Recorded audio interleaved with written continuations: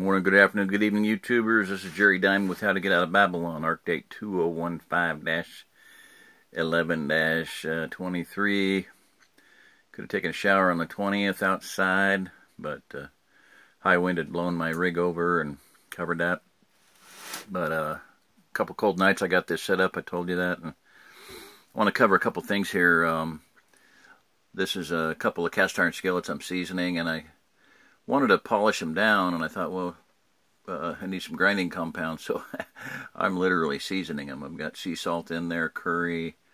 I couldn't find my cayenne, um, you know, black pepper, and whatnot. And I cleaned the oven out, and this actually makes a pretty cool little table here.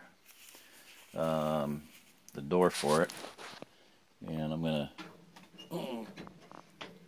They had dessert over at my friend's house, and uh, pumpkin spice pie. And uh, make me some something hot to drink before bed.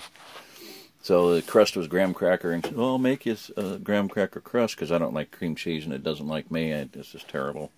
It's not fit for human consumption. I think it's plasticized. I can't digest it.